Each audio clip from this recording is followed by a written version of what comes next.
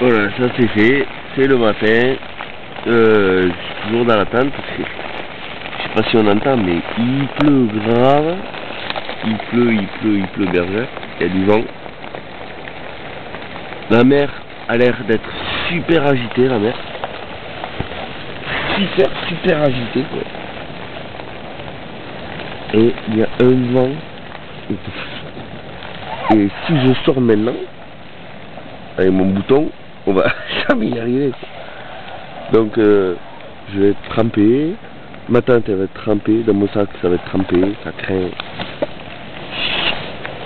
Donc voilà, et j'attends euh, qu'il fasse un peu beau, quoi, ou un truc comme ça, ou je sais pas.